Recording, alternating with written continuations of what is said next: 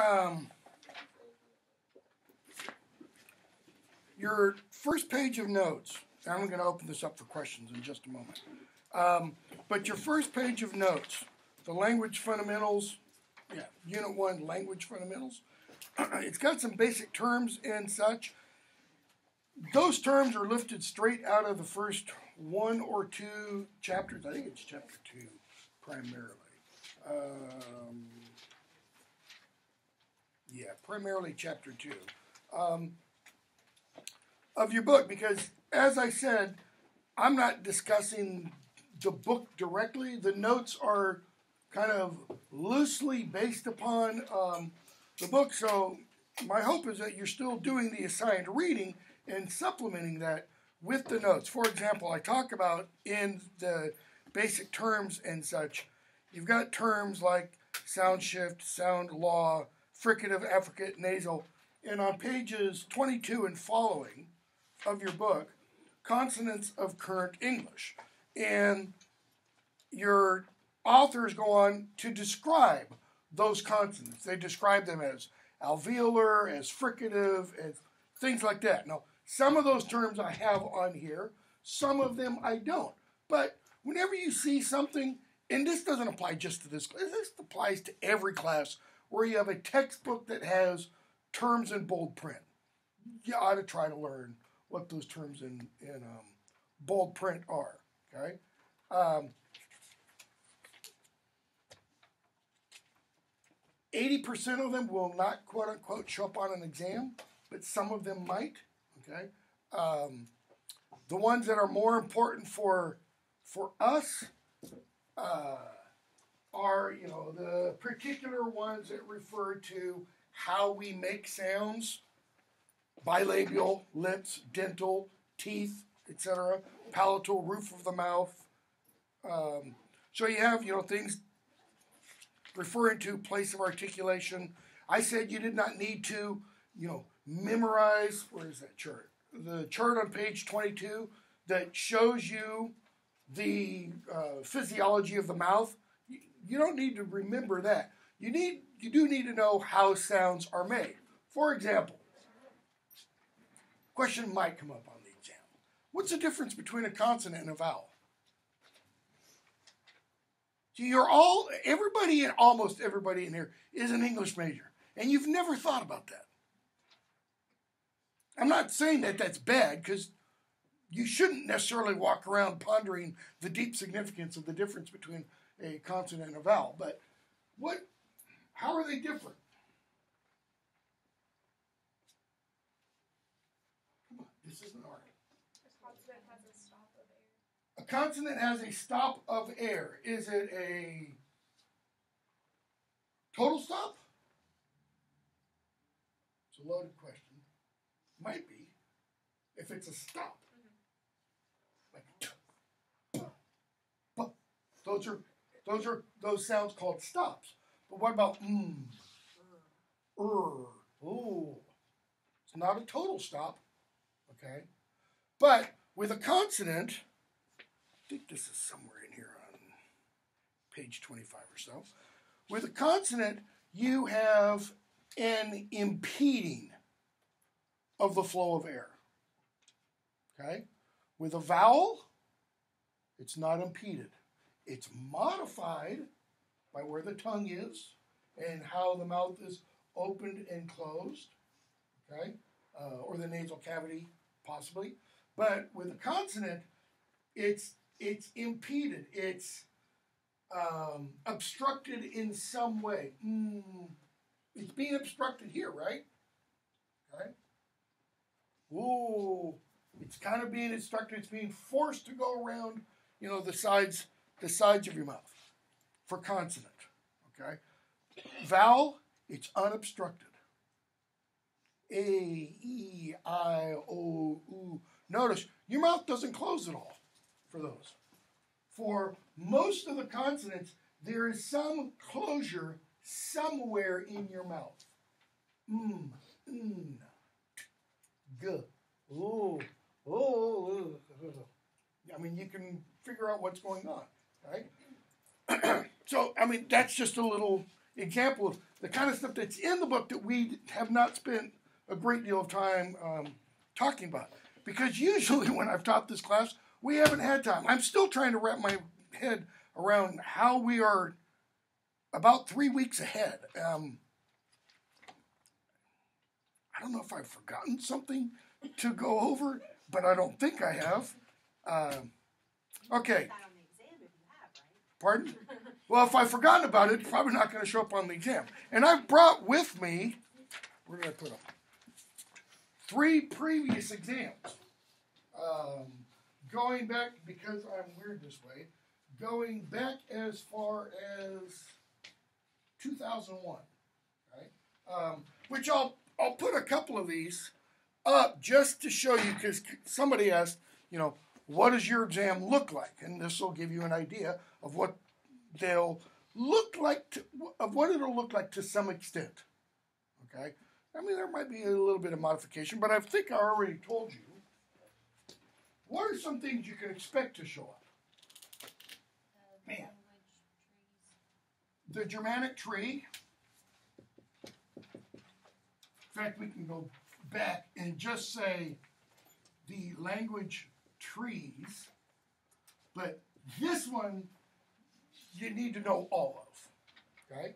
For all of the language trees, if a tree shows up on the exam, it won't be blank. That is, I won't just have lines. And then, you know, horizontal things that says one, two, and you fill those in.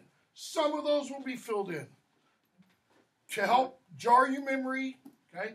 And it will be the ones that were in your notes, not the one that I had up. I still don't understand how that happened.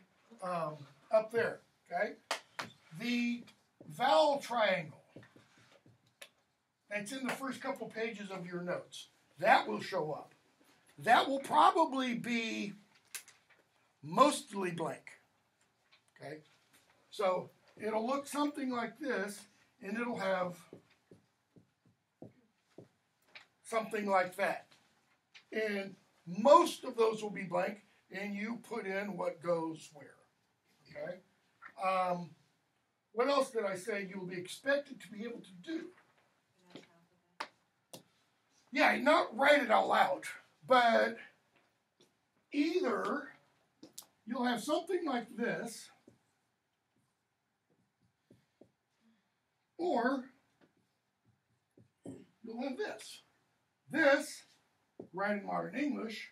This, write in phonetic transcription. It's the same word, by the way. This is ill. If this were that, what could it be?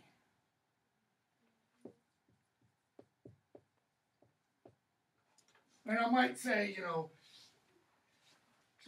in your phonetic, if you if there's a phonetic transcription, spell it, you know, in standard non-southern dialect English, because this is not this, unless again you're a southerner, or depending on a certain part of the South, heel, you know, in other words. Uh, but some of these could get kind of hard. For example,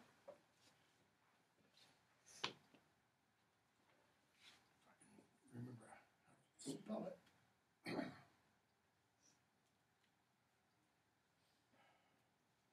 I'm drawing a blank on the symbol I used for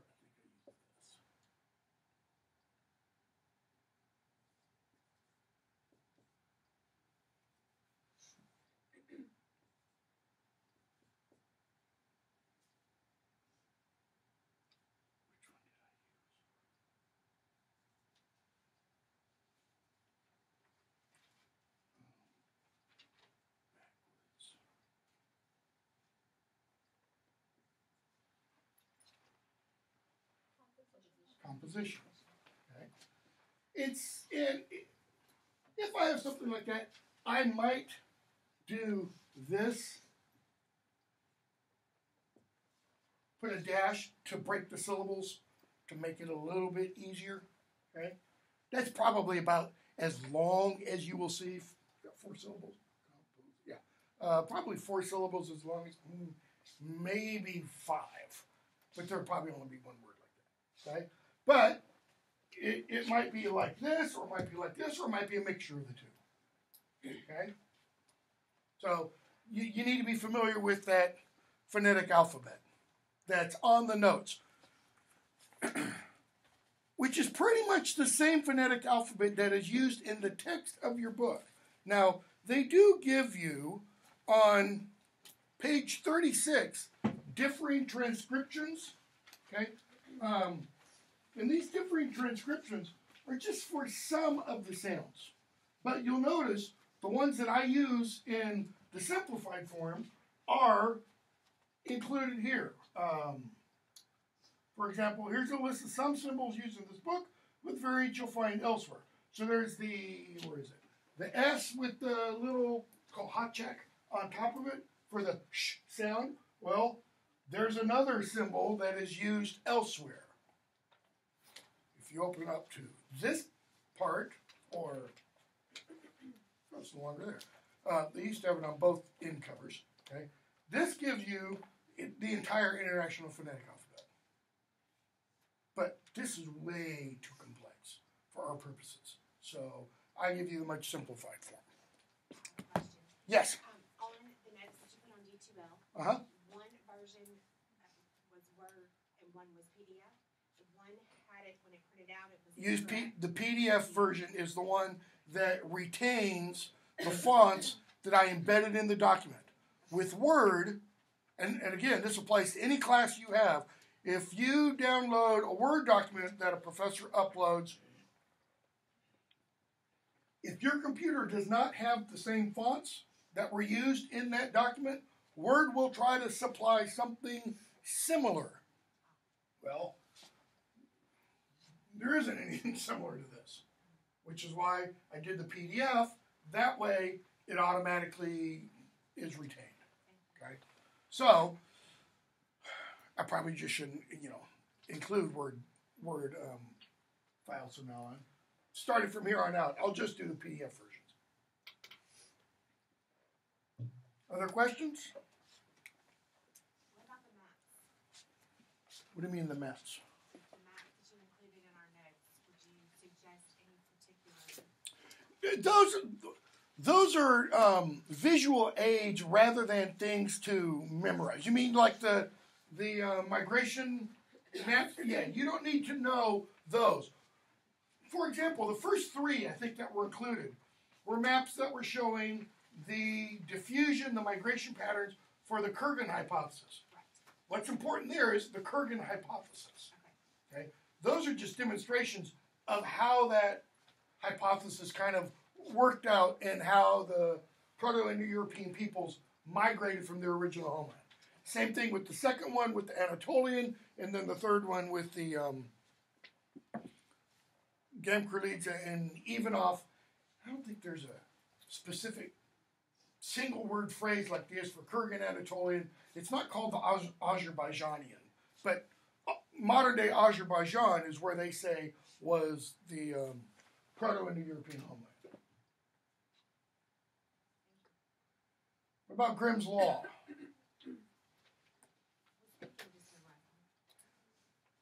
That would be best, okay?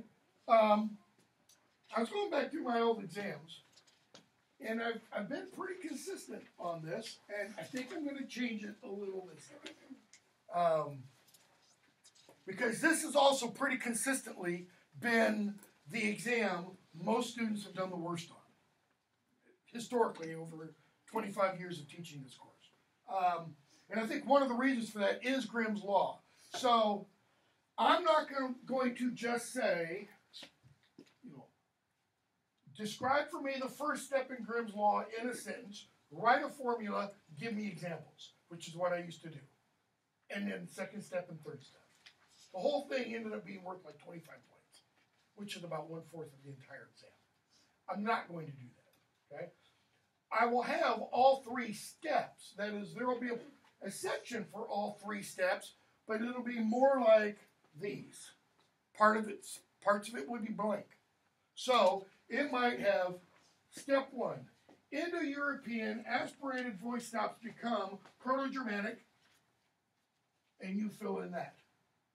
And then um, it might have, let's say, one or two of the sound changes represented formulaically. In other words, and then I might have, you know,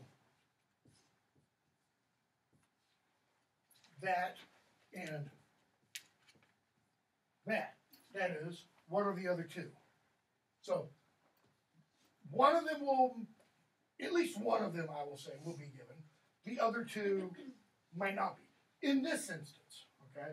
Um, the second one, you know, the third one will probably be the same.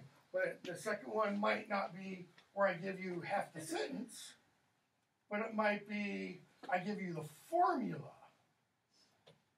and you write the sentence. That is, you write, you tell me what um, this means. Okay? Or you tell me what, you know, if I have something like, um,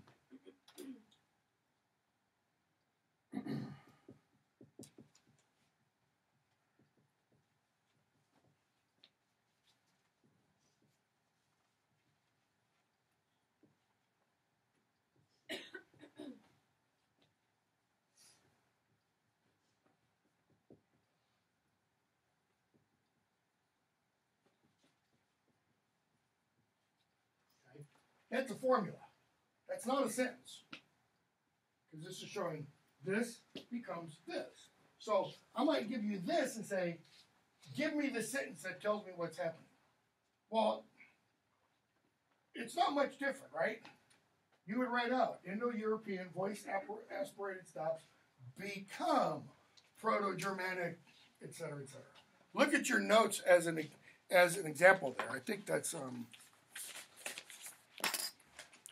unless I'm completely misremembering them, which because of lack of sleep last night. So, the first page of your notes, Grimm's Law, step one.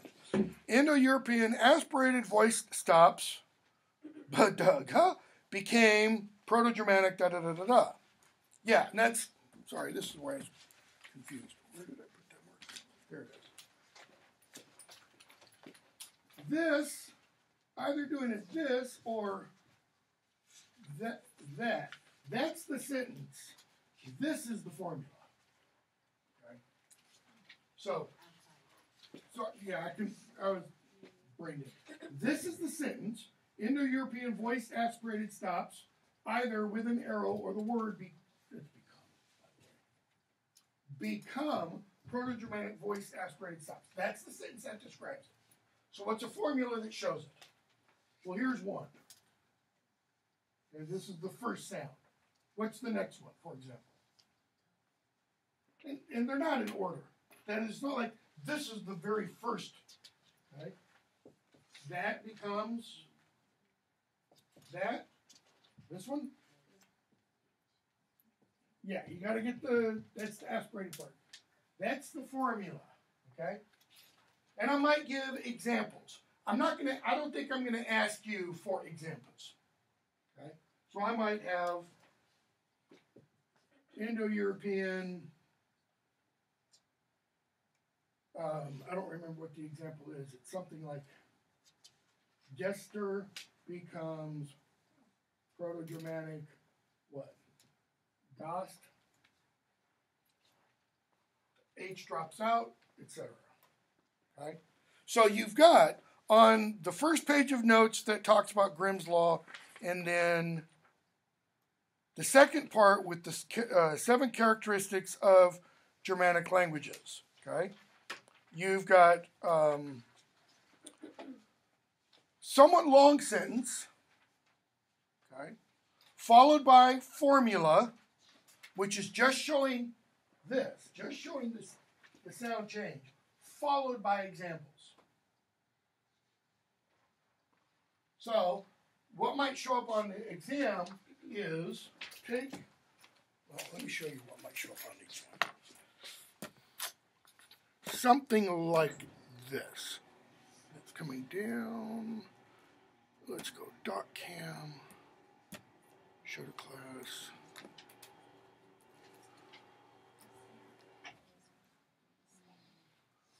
Are you showing to class? Yes, you are showing to class. We're gonna put it? There. So, let me see. Um,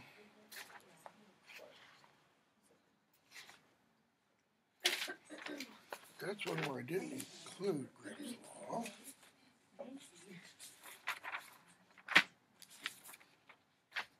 You know, this was a this was a hard one. This is the kind that probably will not show up.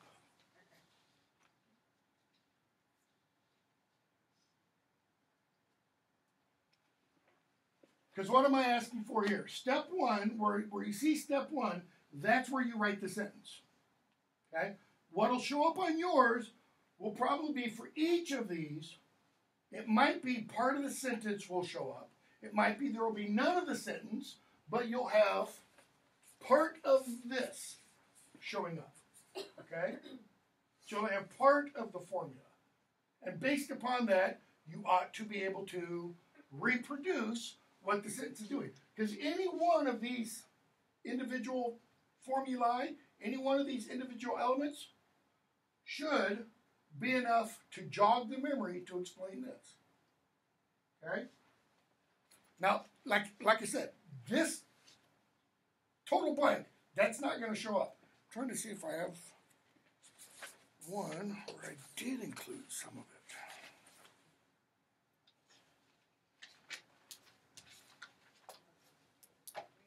And I don't in the exams. Um, hold a second. One, two, there, that. So here's what you have. So think of this. Think of it looking something like that. Without any examples. So, none of the examples, but let's skip those two since I can reach this one. Um, I might have step three. You might have this part, and you fill in this part, okay? And, or you might have this, this, and the next one, and you fill in all of this. Because if you can see, oh, I don't have all that on that same page, do I? Let me use this one instead.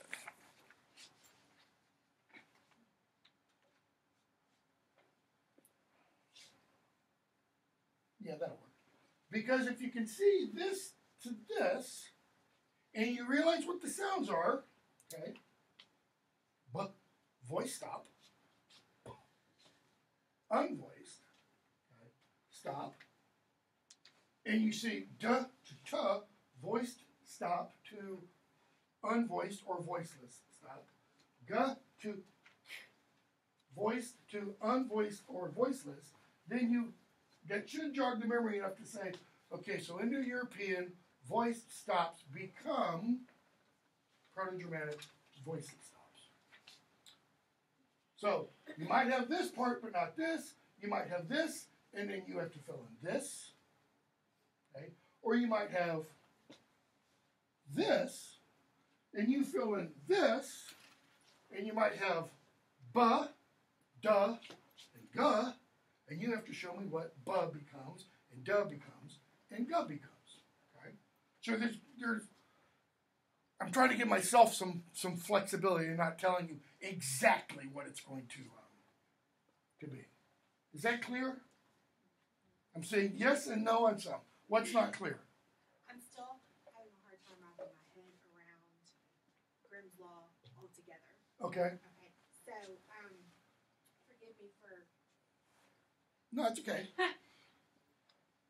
am I understanding that what I need to retain and memorize are basically the first two lines your example in the notes of steps one, two, and three? And the rest of it are just examples of what you're giving These us? are just examples of these sound changes. Yes, that's all these are. Okay, So the, the three things that come after the sentence and the formula the three lines that come after that are merely examples, real world, actual, not theoretical examples of those sound changes. So, for example, look at this, this just number two. If you understand what's happening from here to here, then Pisces in fish makes sense. But I don't have to memorize it. I Yeah. just became fish. Yeah. Yeah, you don't have I'm, to I'm not got that. It's just it's yeah. distinguish. Try to distinguish between memorize and learn. They're not necessarily the same thing. And I'm I'm one of those old-fashioned people who is all for rote memorization. I mean, rote memorization, just simply memorizing facts, dates, is a really, really good way of learning because what that does, that gets stored in the mind, and then later on you're doing something else, and there is a factoid that is suddenly relevant. Okay, Memorize, just flat out memorizing this will stick in your mind, and you'll be reading some time in the future. You know, as uh, Robert Frost says, ages and ages hence, and thinking with a sigh. Hmm, I get that because maybe you're picking up, you're learning another language somewhere, Latin, whatever, and you start to see some parallels between Latin and. This is why, you know, I would argue every English major ought to take Latin. Period. Just, just buckle down and take it. Not because English is based on Latin. I mean, there are Romance language professors who will kind of assert that it's not, but because so much of our English language, one, borrowed Latin, we'll be talking about next week when we get into Old English period, but two, so many of our English words are cognate with Latin words. So that if you understand Latin, you'll be able to pick up a lot of non native English words, okay? Words that have been borrowed, as well as see similarities because we still, because this is a reality. This isn't just something some egghead philologist or linguist made up, some theory that may or may not have any basis in reality. The reason Grimm kind of formulated this law was he said, this happens consistently. Okay? There's, there's, as I said, a couple of exceptions, and we don't talk about them in this class for the simple reason one, it becomes much too confusing because of those exceptions, and two, they aren't major, you know, violations of the law, so to speak. Okay? Thank you. Other questions? History of writing, the order, pre writing, proto writing, real writing, difference between ideographic and pictographic, analytical script, you know, a little bit of mixture of, of the two, where the alphabet comes from. Again, in there the notes might be the notes might include a little bit more than what is included in your book about some things okay the book is really good about tracing specifically the development of the latin alphabet. It doesn't go as much into the runes and etruscans and that kind of stuff um, or the, the punctuation as i do um, in the notes. But why is that important? Because we couldn't do any of this if it weren't for writing. That's why it's important. Languages that do not have a written alphabet, we cannot trace their history. Period. Because it only exists up here. Okay? So a lot of these languages, you know, a lot of languages in the world that don't have alphabets, we, we don't know what their quote unquote history was. We do know English is. Why? Because we can trace it to its earliest form, earliest Germanic form, Gothic, and then from Gothic and all the other Germanic language languages, we can kind of postulate what Proto-Germanic looked like, and we can look at then the Germanic languages with all the other Indo-European languages, and go back to the Proto-Indo-European, um, etc. from here on out, or after Tuesday, we probably won't discuss any of this. Why? Because we'll be into quote unquote real English. This is all, I think the notes have backgrounds. This is all, you know, dim, foggy memory of English. We're going to be moving into not so dim, not so foggy memory, even though it's Old English and it hasn't been spoken for a thousand years. Okay? But it's real English. It's when English literature begins. It's, you know, parts of it are recognizable as real English. You'll, as we go through, you'll be able to see individual words, nouns, adverbs, adjectives, verbs, etc., and say, yeah, that's English. And one of the things we'll do as we go on is, okay, so what happened to it? Well, that'll be other issues. Um, but this is this is the foundation. This is the bedrock upon which everything else follows. Okay. Other questions? You started to go over what we were going to need to know for the characteristic, characteristics of Germanic language, Mm-hmm. and then you went back to Grimm's Law. Could you go over what we're going to need to know for the characteristics of Germanic language? Or how we're going to need to know it, I guess. Um, it might be as simple as name the seven characteristics, name the seven distinctive characteristics of, of the Germanic languages. Well, one, two, three, four, five, six, seven. So, shared common distinctive vocabulary.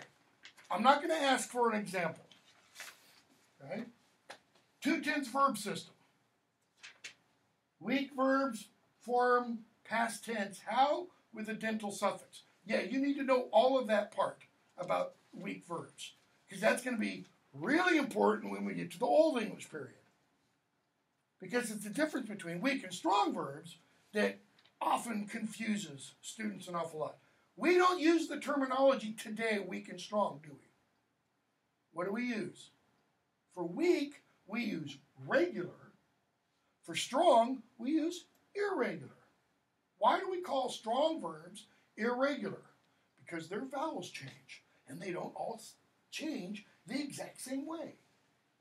That is, one vowel, one verb, an A might change to an O to go to past tense. And other ones, an I might change to an A. It's irregular in that sense. Okay? Grimm just used the terms weak and strong. Regular, irregular come after Grimm by an American, I can't remember, it might be Noah Webster. I think it is Noah Webster. Okay? Um, or about the same time as Grimm.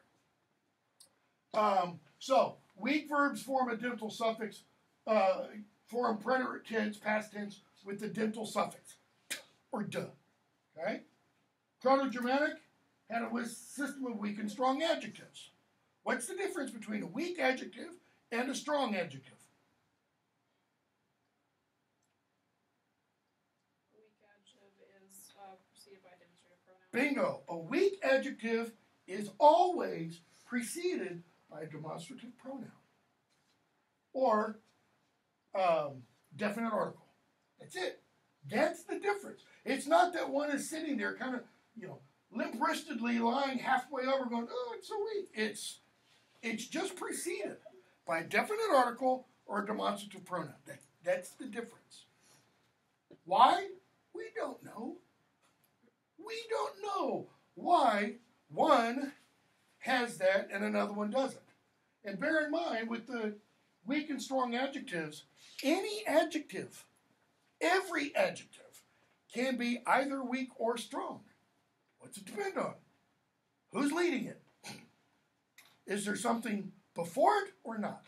Something meaning an article of some kind, a demonstrative or a definite article. What else? Germanic languages have first syllable stress. Okay? All of them. Vowel shift from Proto Indo European to Proto Germanic. Okay? Now, on this part of the exam, if I'm just saying, name the seven defining characteristics, I'm probably just going to ask strictly for what is in or underlined. Okay? But there might be a question, you know, describe the two vowel shifts from Indo European to Germanic. Well, there's one. Short O becomes Germanic short A. Long A becomes Germanic long O. So notice Indo European short O, Germanic long A. Indo European long A becomes Proto Germanic long O. Okay? So if you think of it this way, you can draw a diagonal. Short A, long A, short O, long O. Short O, short A, long A, long O. Okay? And then the last one, Grimm's Law.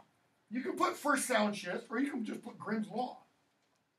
Because where I ask you to explain or demonstrate Grimm's Law, that'll be another part. That'll probably be like the next question or something pretty close to that. All right?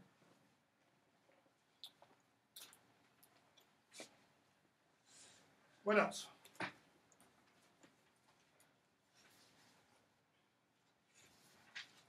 I mean, the way to the way to study for this is one to obviously have read the chapters. So if you're not done that, do that. Um, read the notes repeatedly. I mean, just read over them. Don't don't read over and necessarily highlight and underline and put comments aside. Just keep reading them. I mean, they'll they'll stick. Um, I've had a couple of people say, you know, they've been rewatching the class things on YouTube. Personally, I would find that boring, but others are saying, you know, it's it's helpful because they're catching stuff that they didn't catch in class. Trying to, you know, uh, scribble notes away um, almost immediately. But everything that's done in class, when I've got notes up on the, the overhead, essentially, you know, what I'm doing is I'm merely amplifying. I mean, yeah, I often will read through what's there, but then I give additional examples. I expand upon it, um, that kind of thing. Which there's no written, you know, background uh, to that per se. Well, it does reinforce the notes because when you're jotting down something that you gave an example, sometimes you miss something else. It, it, it does reinforce it. Other questions? Probably. Class is about an hour and a half long. Most of you will probably be done in under an hour. I mean, one of you will probably stay here for the full 85 minutes. One or, you know, usually there's one or two. Um, but there's always one person, every, doesn't matter what class I'm teaching, there's always one person who's done in 15 minutes. And I either know they either aced it or it's blank. okay, it's it's one. It's usually one of those two. The first person out is not usually a C plus. It's either I know this stuff and you're a moron, Sherman, or I'm a moron and I'll never know this stuff and I'm leaving now and never coming back. You know, kind of kind of thing. Um, I'm not I'm not trying to be negative or, or anything. Don't be surprised if um, you do worse than you think or worse than you hope to do. But again, I'm going to try and mitigate that a little bit by uh, changing the, the structure of it a little bit. Um, but you know, if when you get it back, you know, it's not what you had hoped for, don't think it's the end of the world because there's several more exams, and this is probably the hardest material. I mean, the Germanic stuff, the Germanic stuff in the history of writing, just keeping it all kind of in a manageable order um, is hard. I mean, a lot of schools, the history of writing, that's an entire separate course. Just a course on the history of the quote unquote English alphabet. Okay? Um, Germanic philology, Germanic linguistics, or the just the English from Old English to Modern English is a class. And then you can have another class just on the Indo-European part. I mean, you can come if you're interested in the Indo-European part. You can come to my office. I can show you a dozen books that are just Indo-European linguistics. Okay. So it's just background. We'll build on um, on this. I mean, I'm even thinking of making this exam a little bit shorter than the other, so it'll be worth a little bit less points, so that the others will then therefore be a little bit more points, so that if you do bomb this one, it's not you know end of the world, so to speak. It's not going to be like this is ten points and they're all two hundred points, you know. Um, but maybe seventy-five. I don't know. I'll figure something out. Other questions? Yes. I hate to already be this person, but are you gonna be offering extra credit? Um, you know, I've thought about that. I haven't given a lot of thought of it, but I really should. Today's Thursday, right? Yeah, today's Thursday. How can I work this in as extra credit for this course? Yeah, I'll give extra credit. Here's one you can do. Uh, this might be the only one. I'll send this out by email later on today, and I know it's very, very last word. Um, tonight, starting tonight, MTSU, Nashville Shakespeare Festival, is doing Julius Caesar. Tonight, tomorrow, Saturday, and I think maybe Sunday afternoon. Um, I have no idea what it costs, five, ten bucks, something like that, probably. Go watch the play. Bring me, because I'm not going to see it. Um, bring me a copy of the program that tells me you've seen the play, um, and write up a I don't know one to two page double spaced review. Okay. Um, Shakespeare falls within the purview of the history of the English language, though they're not doing it in Shakespearean pronunciation. It would be nice if they did, but it would also be scary as hell to hear what came out of their mouths. Um, yeah, so that's an extra credit possibility. And I'll just say off the top of my head, it'll probably be worth somewhere between 20 and 30 points. Okay? So if you if you do it, don't just, you know, the review, oh, I really like this, you know, a hundred times. Talk about the setting, talk about the acting, talk about the uh, enunciation where actors clear, talk about music if there's music, there is, there always is with NSF productions. Um, if you're familiar with the play, talk about how they modify, what they cut, or I hate it when they do this, what they add. I've seen a couple of NSF productions where they've kind of taken words from one character and given it to somebody else, etc. Um, so yeah, yeah, that's tonight. Um, Tucker, I think. Tonight, tomorrow night, Saturday night, and I think Sunday afternoon, but I'm not I'm not positive about the Sunday afternoon. I know it's tonight, tomorrow, and Saturday because my wife's working tonight, my son's working tomorrow night, my wife's working Saturday night, um, collecting tickets or something. You know what time? Seven o'clock, I believe. The The production will start at either seven or seven thirty. They will um, begin about a half hour or hour before that with a thirty minute quote unquote talking Shakespeare. We'll have some um, Shakespeare expert. Um, I just forgot to answer the email. Uh, otherwise, I'd be doing one of them. Um, talking about some aspect of the play, maybe their product, this particular production of it, or something about Shakespeare's language. That's often one of the things we'll talk about. You know, when we do one of these things, what you should listen for um, in the play. And if you've never seen Julius Caesar, it's a great play. I mean, it's it's one of Shakespeare's really great tragedies. Um, I'm just not seeing this production um, because of what I know about it. I, I, I know I won't like it because I'm a I'm a purist when it comes to films, books translated to film, you know. Uh, so, qu- other questions? What day do you plan to grade the exams and do you like donuts?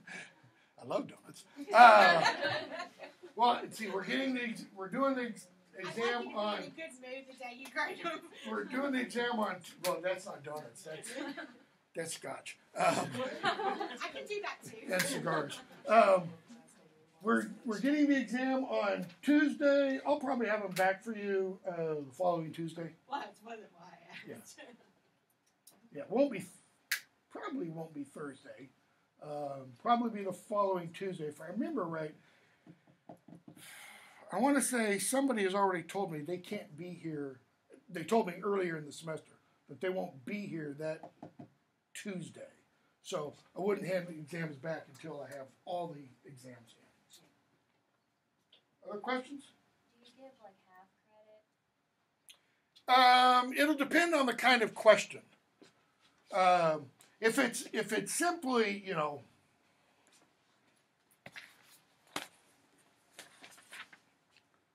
let me find one in here where I've got a two pointer. Um,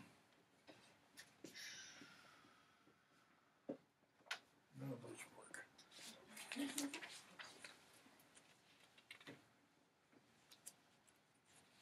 Yeah, here's one.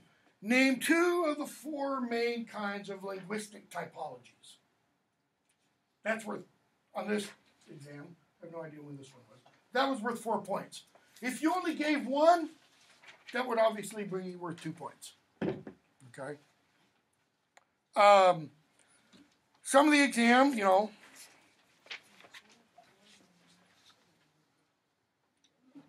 so there's an example of where you've got some words in phonetic transcription, you give me the things. Um, but some of the exam might be true false. Okay. Some of it will be, you know, cuneiform is an example of blank writing. So you will fill in the blank there. Okay. There won't be any essay. You can't really do any essay on at least on this part. Maybe later on in the semester there there will be. Um, so, short answer, fill in the blank, um, true, false, possibly, complete the chart, kind of a thing. Um, what else? You know, you could see something like this where I give you the Old English, the translation, and this, and say, okay, which of those is weak and which is strong? Okay. And probably if I did that, okay, notice I've got the and the here. Why? Modern English, we don't just say young men, you know, went to the store. I mean, you can't say young men went but usually the young men. We put a definite article there. If I was trying to get you to tell me what you know difference between weak and strong adjective, I would probably put the in parentheses to show we kind of supply that. Okay. Anything else?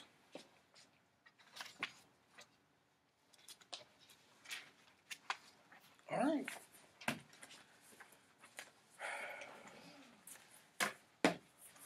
You're back there with your hands in prayer, you know. You're free to go.